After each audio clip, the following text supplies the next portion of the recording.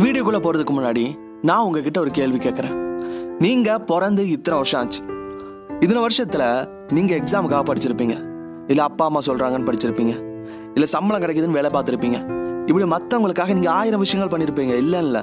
ஆனால் நீங்கள் உங்களோட இம்ப்ரூவ்மெண்ட்டுக்காகவும் உங்களோட டெவலப்மெண்ட்டுக்காக நீங்கள் எவ்வளோ நேரம் செலவு பண்ணியிருக்கீங்க ஒரு நாளைக்கு ஒரு மணி நேரம்? இல்லை ஒரு அரை மணி நேரம் இங்க செலவு பண்ணியிருக்கீங்களா இல்லை எனக்கு டெவலப்மெண்ட்டை பற்றி சுத்தமாக ஐடியா இல்லை. இதுவரை என்னோட செல்ஃப் டெவலப்மெண்ட்டுக்காக எதுவுமே பண்ணதில்லை. நீங்கள் சொல்லலாம் ஓகே பிரச்சனை இல்லை. ஆனால் இந்த வீடியோ பார்த்து முடிக்கும் போது உங்களுக்கு அந்த எண்ணம் இருக்காது. கண்டிப்பாக நம்மளோட டெவலப்மெண்ட்டுக்காக நம்ம நேராக செலவு பண்ணி ஆகணும் அப்படிங்கிற எண்ணம் வரும். அந்த எண்ணம் வந்தால் போதும். இத்தனை வருஷம் கை மீறி போனது பிரச்சனையே இல்லை. இன்னும் உங்கள் கண்ணு முன்னாடி இருபத்தஞ்சு வருஷம் முப்பது வருஷம் இருக்குது. அதுக்காக உழைக்கலாம். அதுக்காக நீங்கள் டெவலப்மெண்ட் பண்ணிக்கலாம். தப்பே இல்லை. ஸோ இந்த வீடியோவை ஃபுல்லாக பாருங்கள் உங்களுக்கு வாழ்க்கையில் கண்டிப்பாக ஒரு சேஞ்ச் கிடைக்கும். இந்த செல்ஃப் டெவலப்மெண்ட்னா என்ன? அது ஏன் இவ்வளோ முக்கியத்துவம் கொடுக்குறோம்? அதில் அப்படி என்னதான் இருக்கு அப்படிங்கிற கேள்வி எல்லாரோட மனசுலயும் இருக்கு. இந்த செல்ஃப் டெவலப்மெண்ட்னா என்னங்கிறத நான் சிம்பிளாக சொல்கிறேன் நீங்கள் ஒரு பாயிண்ட்ல இருக்கீங்க. நீங்கள் இந்த பாயிண்ட்லேருந்து இன்னொரு பாயிண்ட்ல போய் ரீச் ஆகணும்னு ஆசைப்படுறீங்க. ஆனால் நீங்கள் இருக்கிற பாயிண்ட்லையும் இங்கே ரீச் ஆகணும்னு நினைக்கிற பாயிண்ட்டுக்கோ எந்த வித அக்சஸ் ரோட் எந்த வித பாதை எதுவுமே இல்லை. இன்னும் சுருக்கமாக சொல்ல போனோம் அப்படின்னா ரெண்டத்துக்கு நடுவில் ஒரு பெரிய பள்ளத்தாக்கு இருக்குன்னு வச்சுப்போம். இப்போ என்ன பண்ணுவீங்க? ஒரு பாலத்தை பில்ட் பண்ணுவீங்க. இந்த பாலத்தை ஒரே நாளில் கட்ட முடியுமா? முடியாது. கொஞ்சம் கொஞ்சமாக கொஞ்சம் கொஞ்சமாக நிதானமாக ஸ்டெப் பை ஸ்டெப் நீங்கள் கட்டி கட்டி கடைசியில் அந்த பாயிண்ட்டுக்கு ரீச் பண்ணுவீங்க. கரெக்டா அந்த பாலத்துக்கு பேர் தான் செல்ஃப் டெவலப்மெண்ட் சரியா? ஸோ இந்த செல்ஃப் டெவலப்மெண்ட் இன்னுமே ஏன் முக்கியம் அப்படின்னு கேட்டிங்க அப்படின்னா நீங்கள் இந்த உலகத்தில் இருக்கிற இந்த நிமிஷம் ஒன்று நீங்கள் ஜெயிச்சுக்கிட்டு இருப்பீங்க இல்லை உங்களுக்கு தெரியாமலே நீங்கள் தோத்துக்கிட்டு இருப்பீங்க. ஏன்னா நீங்கள் எடுத்து வைக்கிற அடுத்த அடி அந்த அடி ஒன்று நீங்கள் பயந்து பயந்து எங்கே தோத்துருவோமோ அப்படின்னு பயந்துக்கிட்டு உங்களோட கம்ஃபர்ட் ஜோன்லேயே எடுத்து வைக்கலாம். அப்படி உங்களோட கம்ஃபர்ட் ஜோன்லேயே நீங்கள் எடுத்து வைக்கிற அடி பின்னோக்கினதாக இருக்கும். வாழ்க்கையில் தோக்குறதா இருக்கும். அது உங்களுக்கு தெரியாமலே நீங்கள் எடுத்து வைப்பீங்க. ஸோ உங்கள் வாழ்க்கையில் நீங்கள் ஜெயிக்கணும் அடுத்த ஸ்டெப் எடுத்து வைக்கணும் அப்படின்னா இங்கே எடுத்து வைக்கிற அடி உங்களோட கம்ஃபர்ட் ஜோனில் வெளியில் இருக்கணும். அதுதான் வாழ்க்கையோட முன்னேற்றம். அதுக்கு காரணமாக இருக்கிறது தான் இந்த செல்ஃப் டெவலப்மெண்ட் ஏன்னா ஒரு நாளில் இருபத்தி நாலு மணி நேரம் இருக்குங்க. அந்த இருபத்தி நாலு மணி நேரத்தை நம்ம எப்படி செலவு பண்ணுறோம் எதுக்கு அதிக நேரம் செலவு பண்ணுறோம் ஒன்று தூங்குறதுக்கு இன்னொன்று என்டர்டைன்மெண்ட் என்ஜாய்மெண்ட்டுக்கு இந்த என்ஜாய்மெண்ட் என்டர்டைன்மெண்ட்லாம் ஜாலியாக ஃபன்னாக தான் இருக்கும். ஆனால் அந்த நாளோட முடிவில் உங்களோட டெவலப்மெண்ட்டுக்கு எந்த டைமும் இருக்காது. என்ஜாய்மெண்ட்டுக்கே எல்லா டைமும் போயிடும். அதனால தான் நான் சொல்கிறேன் இந்த என்ஜாய்மெண்ட்டை விட என்டர்டைன்மெண்ட்டை விட சிறந்த விஷயம் எதுன்னு கேட்டிங்கன்னா செல்ஃப் டெவலப்மெண்ட் தான். ஏன்னா செல்ஃப் டெவலப்மெண்ட்டுக்கு நீங்கள் நிறைய நேரம்லாம் செலவு பண்ண வேண்டாம். ஒரு நாளைக்கு ஒரு ரெண்டு மணி நேரம் இல்லை ஒரு மணி நேரம் செலவு பண்ணால் போதும்.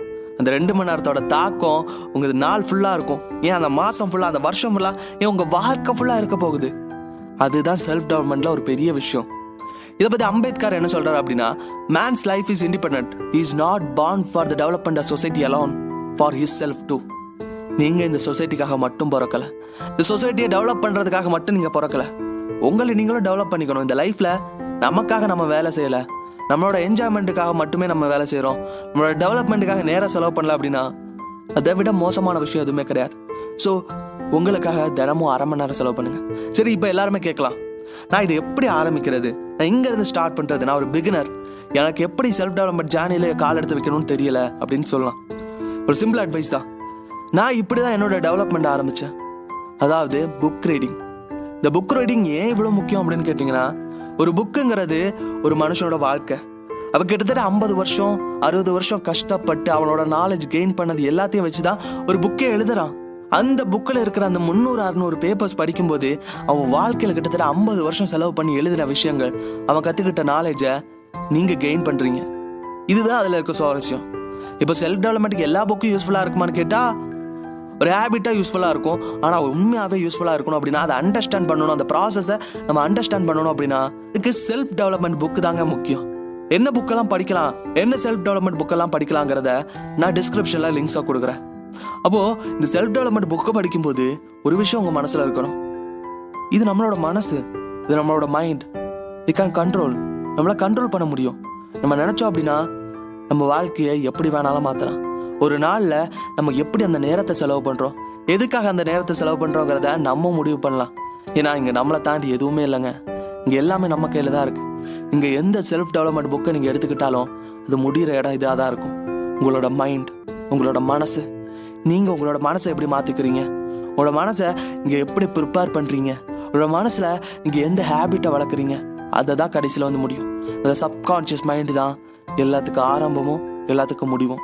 நீங்கள் அந்த சப்கான்ஷியஸை எப்படி ப்ரோக்ராம் பண்ணுறீங்க நீங்கள் எதுக்காக ப்ரோக்ராம் பண்ணுறீங்க நீங்கள் எப்படி இந்த லைஃப்பை பார்க்குறீங்க இது எல்லாமே சேர்ந்தது தாங்க உங்கள் வாழ்க்கையோட டெவலப்மெண்ட் இங்கே சக்ஸஸை பொறுத்தவரை மூணு விதம் இருக்குது ஒன்று ஷார்ட் டேர்ம் சக்ஸஸ் இன்னொன்று லாங் டேர்ம் சக்ஸஸ் இன்னொன்று ராக்கெட் சக்ஸஸ் இந்த ராக்கெட் சக்ஸஸை பற்றி நம்மள நிறைய பேர் கேள்விப்பட்டிருக்கவே மாட்டோம். இந்த ஷார்ட் டேர்ம் சக்ஸஸ் அப்படின்னா அது கொஞ்ச நாள் தான் நம்ம வாழ்க்கையில் இருக்கும். ஒரு நாள் நீங்கள் சந்தோஷமாக உணர்றீங்களா? அதே சந்தோஷம் நாளைக்கு இருக்காது. ஆனால் அந்த லாங் டேர்ம் சக்ஸஸ் அப்படி இல்லை. உங்கள் வாழ்க்கையில் ஒரு சக்ஸஸ் வருதா?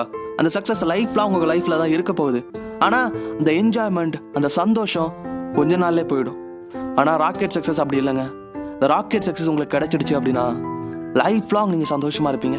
நீங்கள் எடுத்து வைக்கிற ஒவ்வொரு ஸ்டெப்லையும் நீங்கள் ஜெயிச்சுக்கிட்டே இருப்பீங்க. You can feel the success any time எல்லா முயற்சிகளையும் நீங்கள் ஜெயிச்சுக்கிட்டே இருப்பீங்க. அப்படியே வானத்தை நோக்கி நீங்கள் போயிட்டே இருப்பீங்க. கீழே வரவே மாட்டீங்க. அதுதான் ராக்கெட் சக்ஸஸ் இந்த ராக்கெட் சக்ஸஸ் தான் இங்கே எல்லாருமே இருக்கிறாங்க. எந்த சக்ஸஸ்ஃபுல்லான பிஸ்னஸ் மேன் எடுத்துக்கோங்க. உங்கள் சடனாக ஃபெயிலியர் எதுவுமே கிடையாது. பேங்க் ஆனால் கூட அவங்க வாழ்க்கையில் ஜெயிக்கிறாங்க. அடுத்த டைம் அவங்க ஒரு டாப் மில்லியனர் ஆகுறாங்க. இதெல்லாம் என்ன காரணம்? அவங்க ராக்கெட் சக்ஸஸில் இருக்காங்க. இந்த ராக்கெட் சக்ஸஸ் அடையிறதுக்கு ஒரே வழி செல்ஃப் டெவலப்மெண்ட் தான். நீங்கள் செல்ஃப் டெவலப்மெண்ட்டுக்காக எவ்வளோ நேரம் செலவு பண்ணுறீங்க உங்களை நீங்கள் எப்படி கண்ட்ரோல் பண்ணி வச்சுக்கிறீங்க? அதை பொறுத்து தான் அந்த ராக்கெட் சக்ஸஸ் உங்கள் வாழ்க்கையில் வருது. அந்த ராக்கெட் சக்ஸஸை நீங்கள் அடையணும் அப்படின்னா தினமும் ஒரு மணி நேரம் செலவு பண்ணுங்கள் அந்த ஒரு மணி நேரம் ரொம்ப சின்னதாக தெரியலாம்.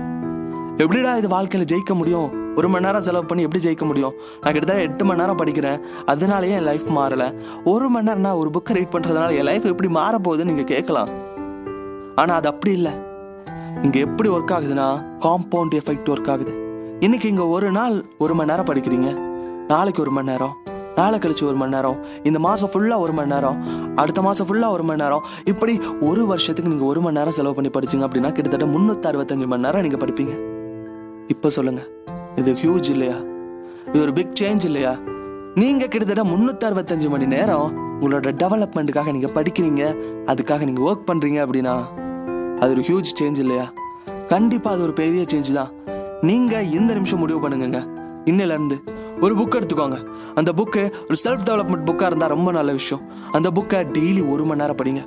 ஒரு மணி நேரம் வேற எதுலேயுமே கான்சென்ட்ரேட் பண்ணாமல் அந்த புக்கில் கான்சென்ட்ரேட் பண்ணி படிங்க. இங்கே அப்படி படிக்கிறதுனால என்னெல்லாம் பெனிஃபிட்ஸ் இருக்குது தெரியுமா? உங்களோட கான்சென்ட்ரேஷன் லெவல் கூடும். நீங்கள் அந்த ராக்கெட் சக்சஸுக்கு போவீங்க. நீங்கள் உங்களோட லைஃப்பில் கண்ட்ரோலாக இருப்பீங்க. நீங்கள் உங்களோட கம்ஃபர்ட் ஜோன்லேயே இருந்துக்கிட்டு இருக்க மாட்டீங்க. வெளியில் ஒரு ஸ்டெப் எடுத்து வைப்பீங்க. அந்த ஸ்டெப்பு தான் உங்களோட சக்ஸஸ் அந்த ஸ்டெப்பு தான் உங்களுக்கான குரோத் ஸோ உங்கள் வாழ்க்கையில் நீங்கள் ஜெயிக்கணும் அப்படின்னா கம்ஃபர்ட் ஜோனில் இருந்தால் ஜெயிக்க முடியாது. Outside the comfort zone நீங்கள் வரணும். Outside the comfort zone வரணும் அப்படின்னா அதுக்கு செல்ஃப் டெவலப்மெண்ட் ரொம்ப முக்கியம். அந்த செல்ஃப் டெவலப்மெண்ட் எதுலேருந்து ஆரம்பிக்குது அப்படின்னா அந்த ஒரு மணி நேரம் புக் ரீடிங்லேருந்து ஆரம்பிக்குது. அந்த ஒரு மணி நேரம் சாதாரண ஒரு மணி நேரம் இல்லைங்க. உங்கள் வாழ்க்கையை மாற்ற போகிற ஒரு மணி நேரம். அதை நீங்கள் செலவு பண்ணுங்கள்